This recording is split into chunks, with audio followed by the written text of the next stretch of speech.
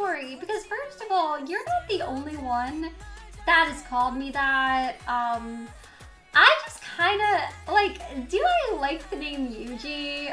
Honestly, not really. And um, I just kind of don't really use nicknames with my name.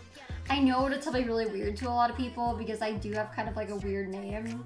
But I don't get mad about it. Like, don't worry. There's been plenty of people that have